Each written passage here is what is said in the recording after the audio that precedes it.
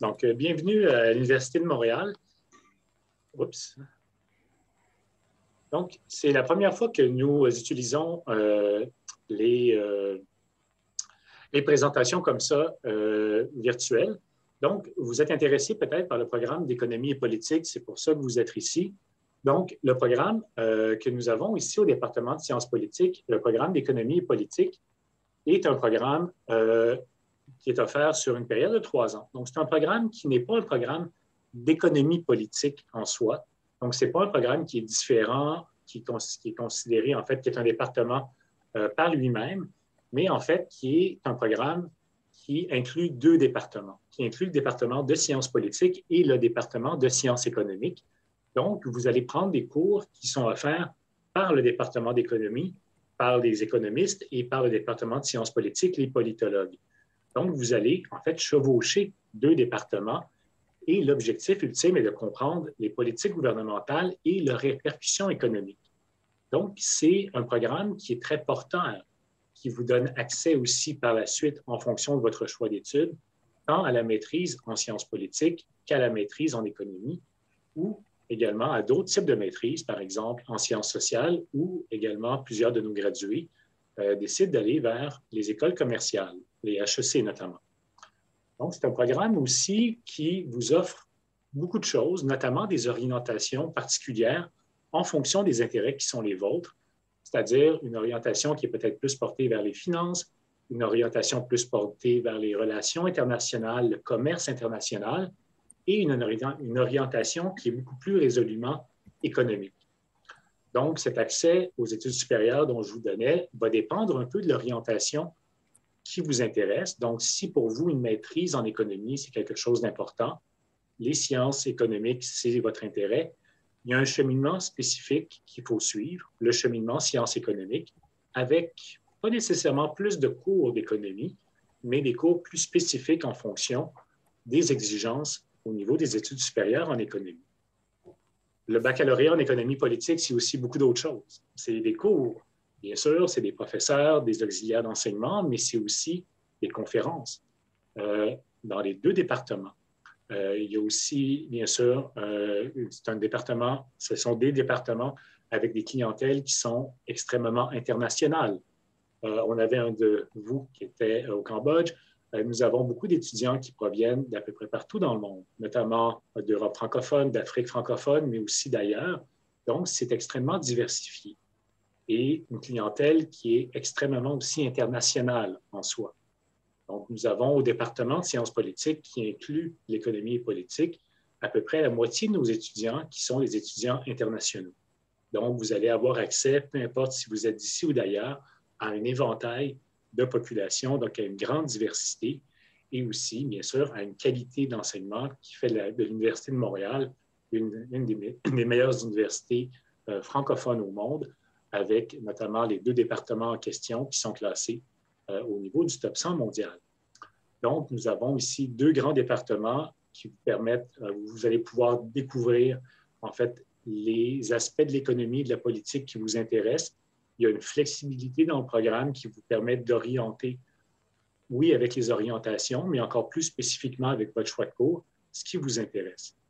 Il y a aussi des bourses qui peuvent être disponibles surtout en fonction de votre performance au niveau académique, mais aussi des bourses par rapport euh, si vous êtes étudiant international ou si vous êtes engagé au niveau social, au niveau euh, de l'engagement étudiant.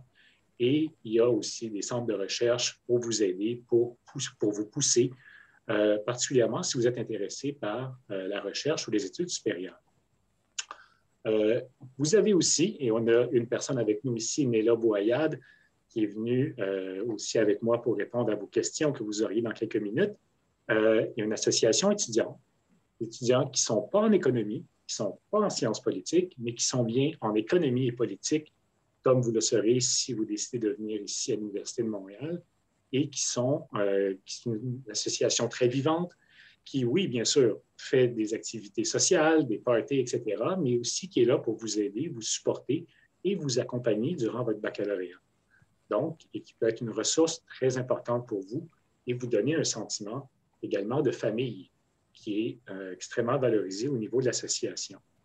Donc, des centres de recherche, je l'ai mentionné, Il y a aussi des possibilités de faire des simulations si l'aspect international de l'économie vous intéresse, notamment avec les Nations unies. Nous avons une excellente équipe, une excellente tradition à ce niveau-là et avec des succès euh, au niveau international. Donc, c'est aussi euh, au niveau euh, des perspectives d'avenir quelque chose qui peut vous intéresser. Qu'est-ce qu'on fait avec un baccalauréat en économie et politique? plusieurs choses. la plupart des gradués, par exemple, des dernières années, vont, vont aux études supérieures, vont dans différents champs. ça peut aller des écoles commerciales à la science politique, aux études internationales, Certains vont dans des champs très différents. D'autres vont sur le marché du travail, euh, secteur financier, par exemple.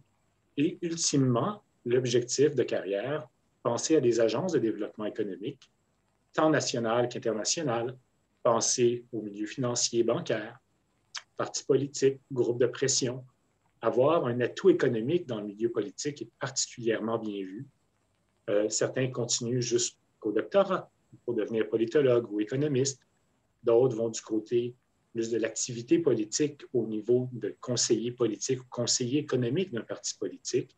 Certains y vont aussi au niveau des ambassades, au niveau des consulats internationaux, donc vers plus un aspect diplomatique ici. D'autres dans le lobbying, le lobbying qui joint intérêts politiques et économiques, les firmes de commerce dans, le secteur privé, les ONG, euh, les organisations publiques et parapubliques, soit ici la fonction publique, provinciale, fédérale ou aussi l'administration municipale. Euh, c'est aussi un programme pour lequel nous, on est très fiers en sciences politiques, euh, au département de sciences politiques, de vous offrir également la possibilité de faire des stages.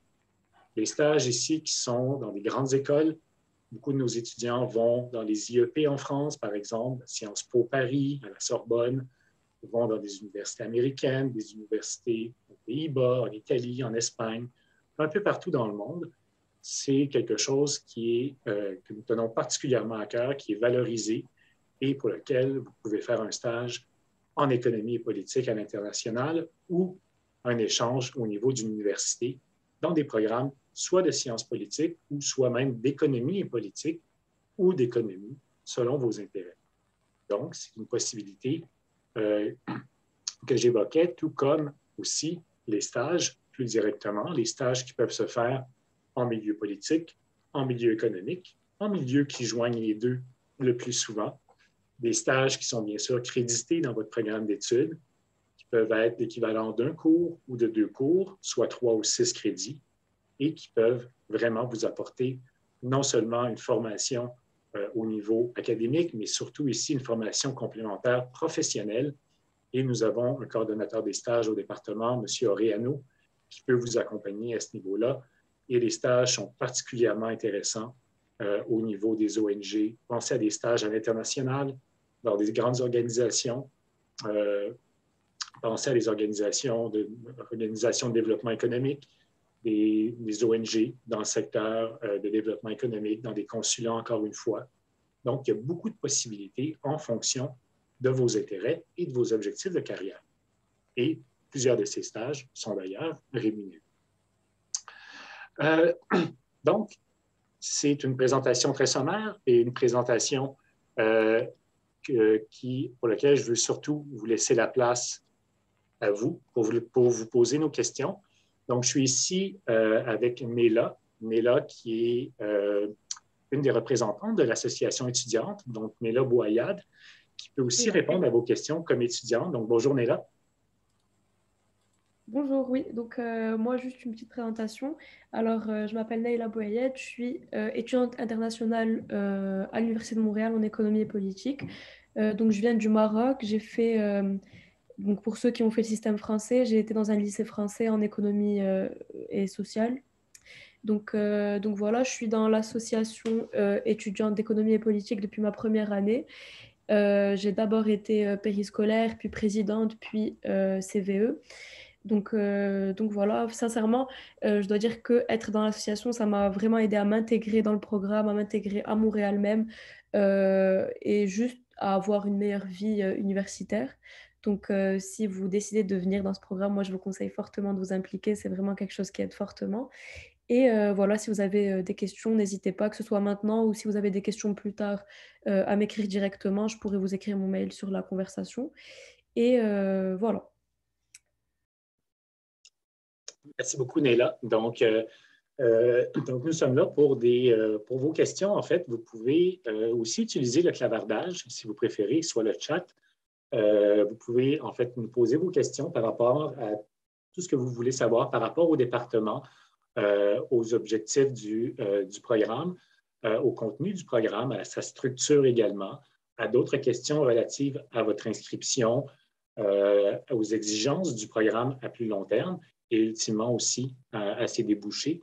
Donc, est-ce que certaines personnes ont des questions? Vous pouvez euh, activer vos micros, je crois, et euh, poser vos questions ou l'écrire euh, sur le clavardage. oui, Alexis, bonjour. Oui, bonjour monsieur. Je suis étudiant français et je voudrais savoir quel, serait le, niveau requis pour intégrer le programme? Globalement et aussi euh, le profil euh, d'un étudiant dans ce programme? Euh, c'est une très bonne question. il y a des exigences au niveau, peu importe d'où vous provenez. Si vous allez sur le site du programme, au niveau des exigences d'admission, il est indiqué qu'est-ce qui est demandé en fonction de votre parcours préliminaire aux études, ce que vous avez fait au niveau du lycée. Euh, au niveau plus spécifique de votre, euh, de votre choix dans le programme, moi, ce que je peux euh, peut-être vous conseiller, le, cheminement, notamment le cheminement économique, vous demande d'avoir une bonne base en mathématiques. C'est quelque chose qui souvent peut poser certains défis pour des nouvelles admises et des nouveaux admis. si vous avez, au niveau du lycée, vous avez fait votre bac français et vous avez pas ou très peu fait de mathématiques dans les dernières années de votre parcours, euh, il est recommandé peut-être de prendre durant l'été ou de commencer peut-être dans une session préliminaire, de prendre des cours au niveau mathématique euh, qui sont listés sur le site du programme pour vous faciliter, euh, entre autres, les cours d'économétrie, les cours qui demandent un langage mathématique beaucoup plus sophistiqué. donc, c'est important d'avoir une certaine base. Euh, au niveau mathématique. Au niveau du cégep, ceux qui ont fait des sciences humaines avec qui incluaient des mathématiques, c'est quelque chose qui devrait être suffisant. Mais au niveau du, euh, du lycée français, ça va dépendre en fait euh, dans quoi tu le fais. Et peut-être que, Néla, tu peux peut-être répondre aussi en fonction de cette question-là, au niveau oui, du lycée. Mhm.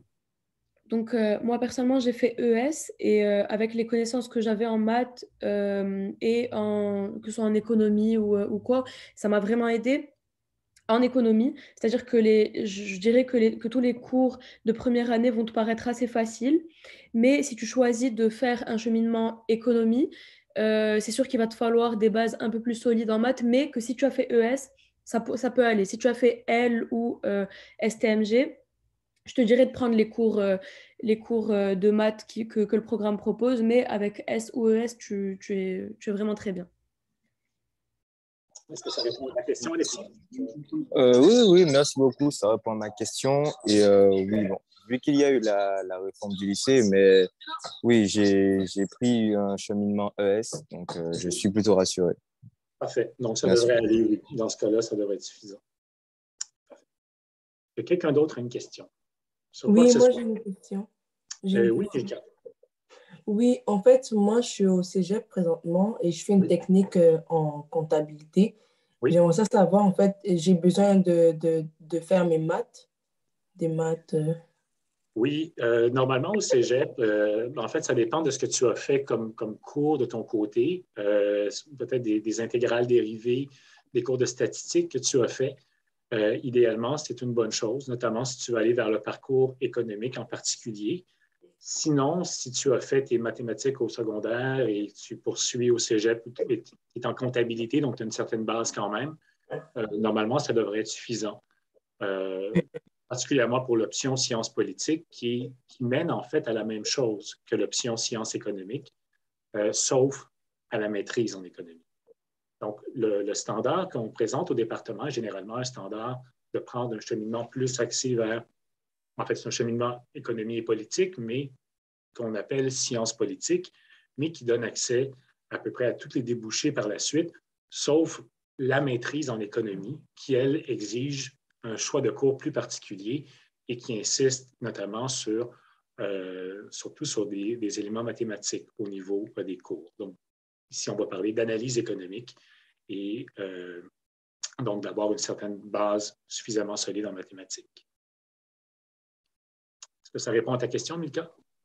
Oui, ça va, merci.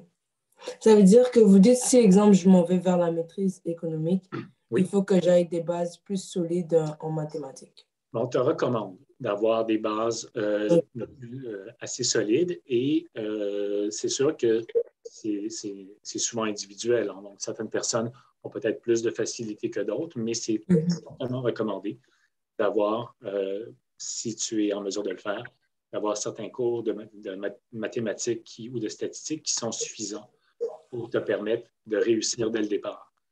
Donc, parce que les exigences, notamment en technique d'analyse économique, en économétrie, sont assez élevées et si tes mathématiques sont très, très loin, ça peut être une difficulté.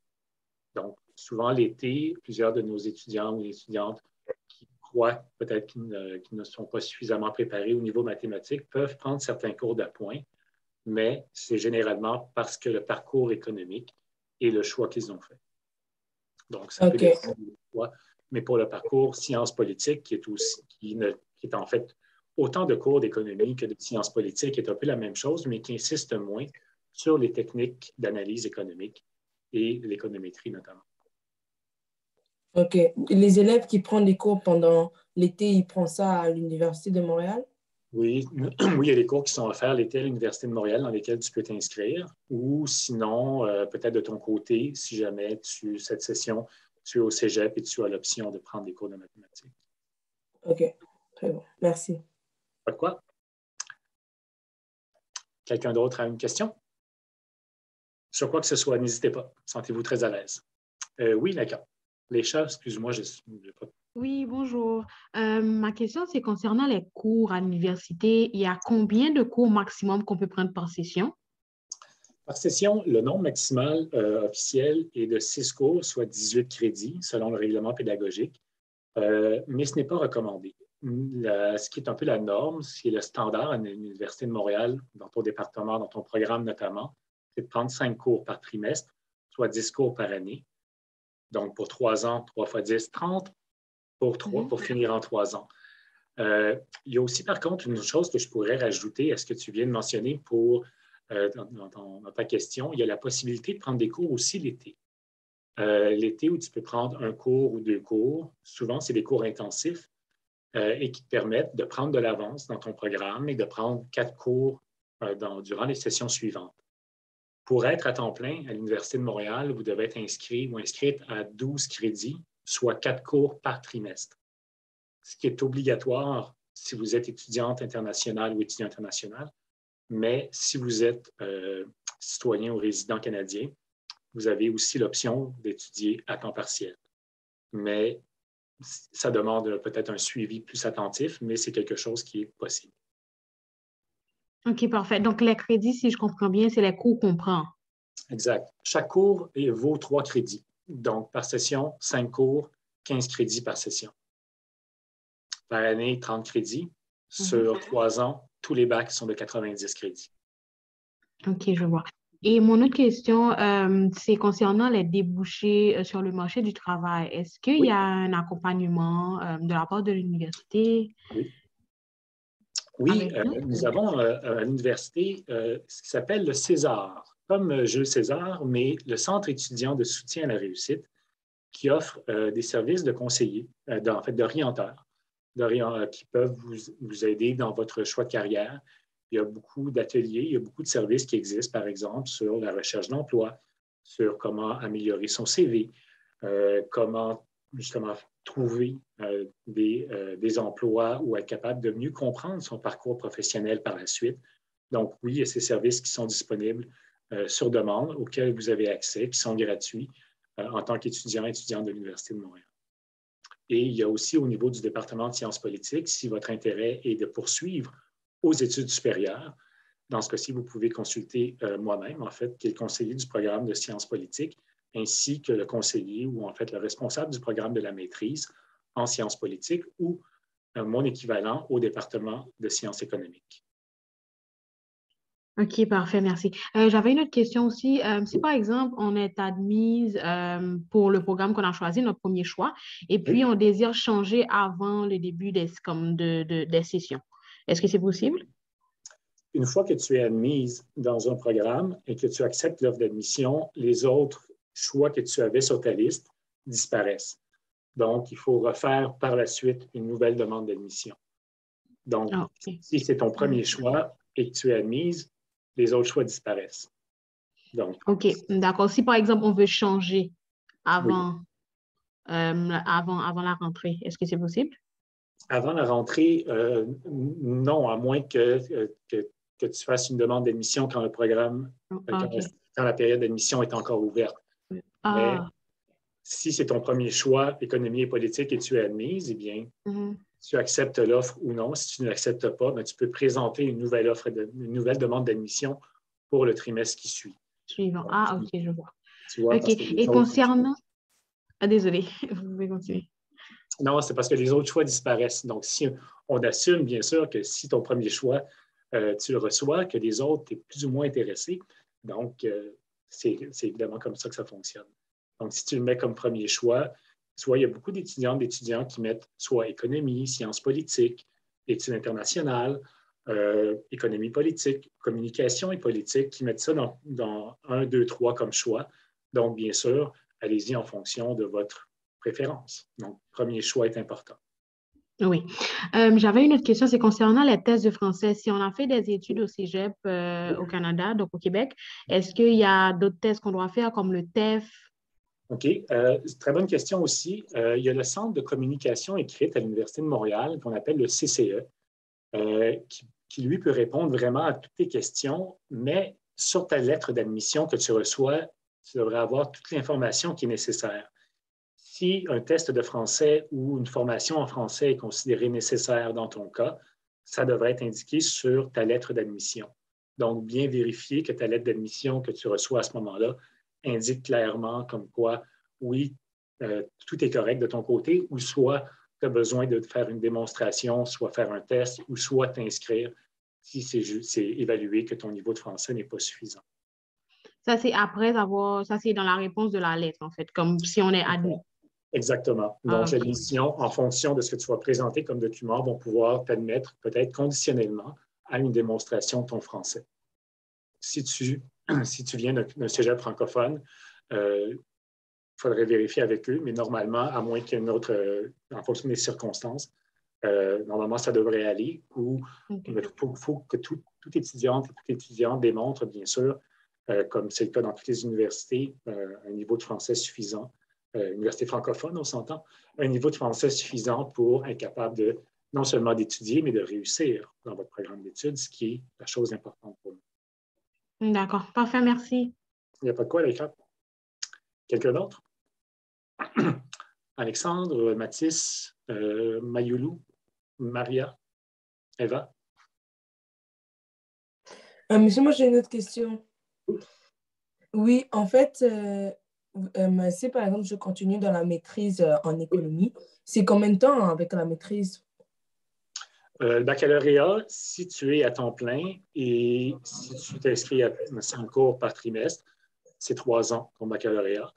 Euh, la maîtrise est prévue pour durer deux ans.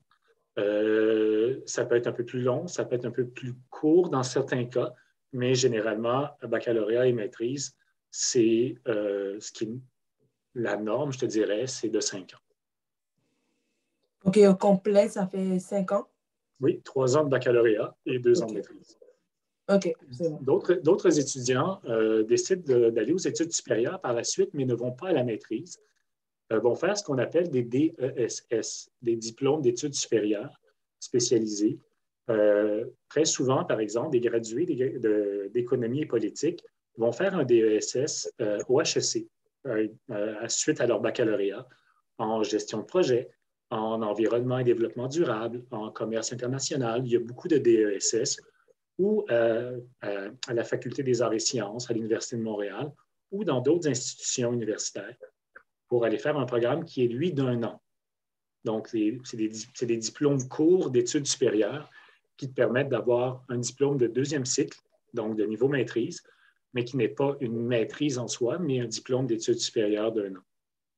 Donc ça, c'est une possibilité que beaucoup des, gradués, par exemple, de l'an dernier en économie et politique euh, sont, ont appliqué et sont maintenant au HEC ou à l'Université de Montréal dans un diplôme de deuxième cycle. OK, c'est bon, merci. Et d'autres euh, vont aussi, en fait, étudier dans des programmes euh, soit de business, des programmes de, de, management, de gestion, mm-hmm. euh, ressources humaines ou ce type de programme-là aussi dans des écoles commerciales. Donc, c'est un débouché qui est très fréquent aussi par rapport à nos gradués du programme d'économie politique, notamment des gens qui sont allés cette année, par exemple, des gradués de l'an passé qui sont allés dans des universités américaines pour étudier euh, au niveau des affaires. OK. OK, c'est bon. Merci. Pas quoi? Euh, oui, d'accord. Laïcha, excuse-moi, je ne sais pas, pas prononcer de la mauvaise façon. Désolée, c'est juste que je n'avais pas cliqué sur le Ah, tu n'avais pas cliqué. ça m'arrive tout le temps. N'inquiète pas. Est-ce que quelqu'un d'autre a une question? Euh, oui, Alexandre. Monsieur, euh, j'ai remarqué que pour chaque cours, il y a une sigle avec euh, un chiffre. Oui. Est-ce qu'un étudiant de première année peut prendre un cours de deuxième année? Est-ce que... Euh, non, en fait, il y a une fois et demie, tu reçois un cheminement obligatoire qui t'indique en fait les cours que tu dois prendre dans, dans ta première année, qui est en fait un peu comme un tronc commun. Et il y a une raison pour ça. Ce n'est pas parce qu'on veut vous empêcher de prendre des cours qui vous intéressent rapidement, c'est parce que ces cours-là sont ciblés de niveau 2000 ou 3000 parce qu'ils exigent des préalables. Et s'inscrire à un cours de niveau 2000, 3000, 2000 implique deuxième année, 3000, troisième année. Donc, c'est mettre un peu la charrue devant les bœufs et souvent, ce n'est pas à votre avantage parce que vous ramassez dans un cours euh, qui est trop avancé et ça vous souvent les conséquences, c'est un problème au niveau de votre résultat. Donc, le résultat est souvent beaucoup en deçà de, ce que vous espériez. Donc, prendre un cours euh, de niveau 1000 de première année au départ est une priorité, bien sûr, et c'est quelque chose d'obligatoire dans votre programme d'études pour être capable d'avoir la base pour pouvoir poursuivre par la suite. Donc, c'est des cours qui, sans se suivre nécessairement directement, sont présumés réussis lorsque vous prenez les cours de niveau 2000 ou 3000. Ça peut seulement être possible si vous avez déjà, par exemple, un parcours universitaire. Vous avez déjà fait euh, des études universitaires à l'UDM ou ailleurs et vous avez déjà suivi des cours similaires. Dans ce cas-là, si vous avez déjà des cours euh, faits au niveau universitaire et réussis, il est possible de recevoir des équivalences et que vous n'avez pas à répéter les cours finalement que vous avez déjà réussi ailleurs. D'accord, donc il faut compléter tous les cours de sigle 1000 avant de passer à 2000. Pas tous les cours de sigle 1000, ceux qui sont obligatoires dans ton cheminement. Donc, c'est normalement, c'est les cours, euh, c'est à peu près une dizaine de cours de première année. Donc, c'est au moins neuf cours qui doivent être faits en première année euh, sur ton cheminement et le cours en extra est aussi un cours de niveau 1000. Donc, tous les cours devraient être de niveau 1000 pour toi en première année. D'accord. Merci beaucoup pour votre réponse informative. Pas de quoi? Quelqu'un d'autre?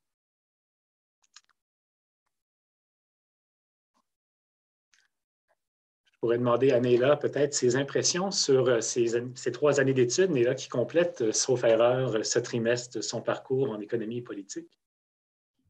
Euh, oui, je finis à la prochaine session. Donc, si vous avez des questions, euh, je suis là. Tes impressions, là peut-être, du programme, que tu euh, es au niveau, pas nécessairement de l'assaut, mais au niveau de ton programme, au niveau des cours que tu as eus? Bah alors moi, il y a des cours que j'ai trouvé plus difficiles que d'autres. J'ai passé deux sessions en présentiel, donc le reste a été en ligne. Euh, donc, je ne suis pas la, la, mieux placée euh, dans tous les élèves d'économie et politique pour parler de ça. Mais euh, mon expérience universitaire, ça a été vraiment quelque chose que j'ai apprécié. je ne changerai rien à mes trois années, à part peut-être me rajouter deux ou trois sessions en présentiel. pour, mes, pour les cours comme tu as parlé, je n'ai pas retenu le nom de la personne qui vient de parler, mais euh, pour les cours de première année, je trouve que c'est vraiment important de, tous les faire et de les faire avant de, rentrer euh, dans des cours de sigle 2000 ou 3000, parce que justement, moi, de mon expérience cette année, j'étais dans un cours de 3000, donc de troisième année, et il y avait une personne de première année et une dizaine de personnes de deuxième année, et je peux vous dire qu'ils n'ont pas forcément bien réussi le cours. Donc, il faut savoir que le programme a été bien fait et que ça a été réfléchi de mettre ces cours-là en première année pour justement nous donner les bases de la politique et de l'économie et de ce qui va nous aider à avoir euh, ben, comme a dit M. Carrier, un tronc commun pour justement euh, les cours de deuxième et troisième année. Mais euh, voilà, je ne sais pas quoi vous dire d'autre. Donc, genre, juste posez-moi vos questions et je suis là. Ah, c'est dommage pour, pour toi, mais avec la pandémie, bien sûr, ça a été plus difficile pour, pour tout le monde. Espérons que ça, ça ne soit pas le cas prochainement. Mais merci beaucoup, Néla. Euh, Alexandre, tu avais euh, une question. Euh, est-ce que ça sera possible de savoir sur quel format les, les, évaluations se passent, comment elles se font? Est-ce que ce sont des dissertations? Est-ce que ce sont des...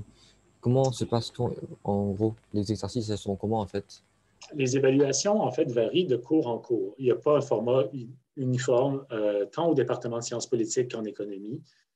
généralement, en sciences politiques, pour ce qui est des cours, surtout les cours de niveau 2000-3000, euh, il y a généralement ce qu'on appelle un travail de session, donc un travail long à rédiger, donc une dissertation si tu veux. Euh, il n'y a pas de format unique. Des fois, les professeurs divisent en plusieurs petits travaux, mais il y a de l'écriture. Euh, peut-être 10, 15, 20 pages, dépendant des cours, dépendant des niveaux. Et il y a toujours dans tous les cours des examens finaux. Je te dirais qu'au département d'économie, le standard est d'y aller surtout avec des examens. Donc, il y a beaucoup moins de, beaucoup moins, très rarement même, des travaux à produire. Ce sont des évaluations de mi-session et une évaluation de fin de session. Très souvent, ce qu'on peut observer, c'est par exemple un examen de mi-session de 50% un examen final de 50 En sciences politiques, il y a plus d'exercices, de points de participation, de présence, euh, de travaux et d'examens. Donc, il y a plus une certaine diversité au niveau des évaluations. Je vois. Merci il n'y a pas de quoi.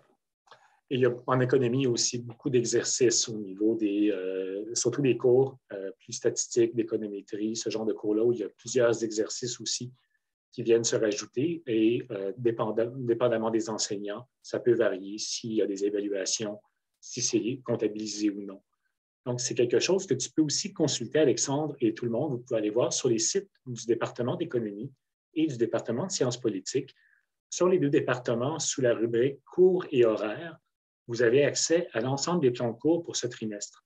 Donc, vous pouvez voir à quoi ressemblent les plans de cours, à quoi ressemblent les évaluations pour chacun des cours euh, qui sont offerts, du moins, à ce trimestre d'hiver. Ça peut vous donner une bonne idée du type d'évaluation euh, qui est demandé euh, au niveau des deux départements. Est-ce que quelqu'un d'autre a une question?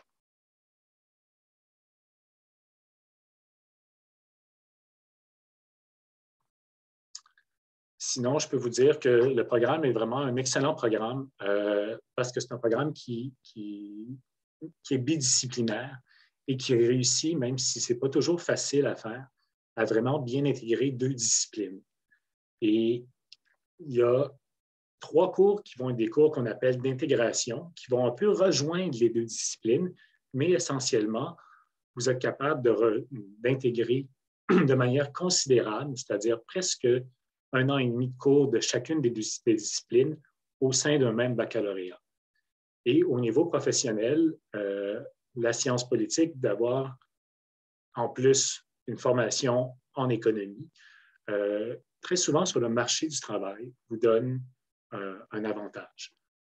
c'est souvent quelque chose, particulièrement dans le secteur privé, qui est prisé, qui est une bonne chose et qui se démarque d'autres programmes qui sont peut-être plus spécialisés, tant du côté d'économie que du côté de sciences politiques. Donc, ça vous donne un accès à deux disciplines et aussi à des options pour le futur qui sont peut-être plus, euh, plus ouvertes, peut-être, euh, qu'un baccalauréat simplement d'une discipline à l'autre. Mais chaque programme a évidemment son avantage. Donc, vous avez moins de spécialisation que dans un programme soit d'économie ou de sciences politiques, mais vous êtes capable de toucher aux deux. Donc, ce qui est peut-être un avantage ou un désavantage dans l'un, le devient ou ne le devient pas dans l'autre. Donc, c'est une, mais c'est un choix qui, qui est vraiment très pertinent, je vous dirais, au niveau professionnel et au niveau de la poursuite de vos études au cycle supérieur, si ça vous intéresse. Donc, c'est un programme qui est très bien fait et qui est aussi très flexible au niveau du nombre de cours, des options que vous avez à, choisir. Et après la première année, vous êtes vraiment très libre au niveau des cours que vous choisissez, euh, particulièrement au niveau de sciences politiques, mais aussi d'économie, où vous pouvez y aller en fonction de vos intérêts qui sont aussi pas nécessairement thématiques, oui, mais aussi géographiques. Si vous êtes intéressé par une région du monde, il y a plusieurs cours d'économie ou de politique qui portent sur ces régions du monde.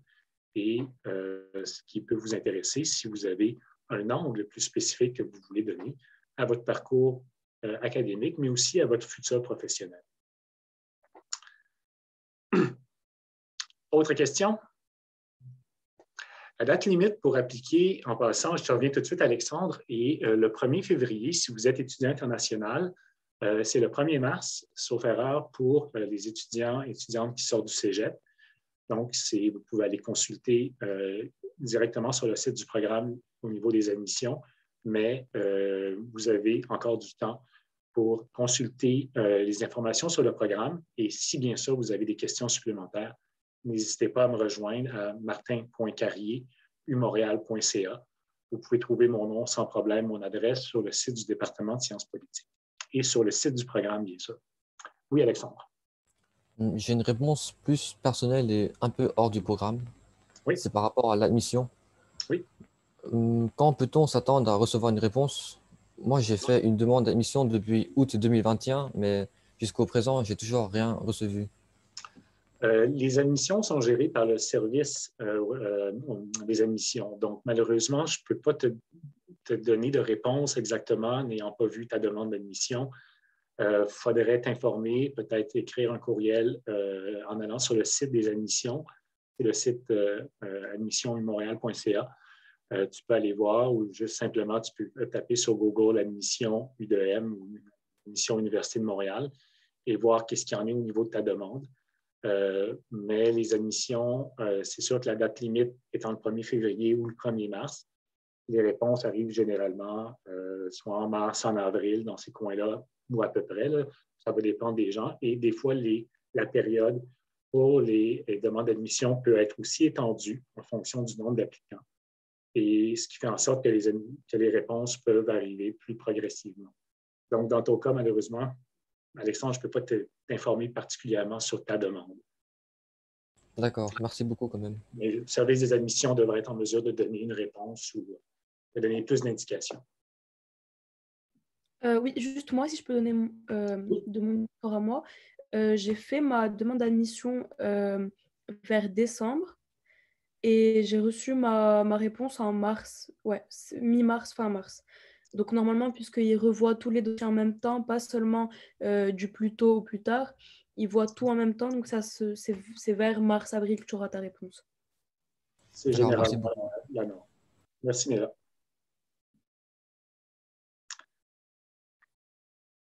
Autre question? Donc, il nous reste deux ou trois minutes, je crois. Donc, euh, dans tous les cas, si vous avez des questions, n'hésitez pas à me contacter. Euh, Néla s'est aussi offerte euh, euh, très gracieusement si jamais vous avez des questions plus par rapport à l'expérience d'une étudiante au sein du programme d'économie et politique. Et vous pouvez aussi, bien sûr, peut-être, Néla, tu pourrais même mentionner, si tu veux, l'adresse de, je ne sais pas si c'est possible au niveau de l'assaut. peut-être que des gens veulent connaître un peu aussi, avoir certaines informations par rapport à l'assaut étudiant. Donc, euh, si vous avez des questions, n'hésitez pas à nous rejoindre et euh, l'ensemble des documents est disponible sur le site du département de sciences politiques qui gère le programme d'économie et politique. Et euh, n'hésitez pas si vous voulez avoir plus d'informations ou vous souhaitez ultimement même également une rencontre ou quoi que ce soit. Donc, sentez-vous très à l'aise. Sur ce, bien, je vous souhaite bonne réflexion et en espérant vous voir dès septembre au département de sciences politiques dans le programme euh, d'économie et politique. Bonne journée à toutes et tous. Au revoir. Merci beaucoup, monsieur. Au revoir, merci. Au revoir. C'est une superbe journée. Vous aussi. Merci, au revoir. Merci. Merci, monsieur. Au revoir. Merci, Néla.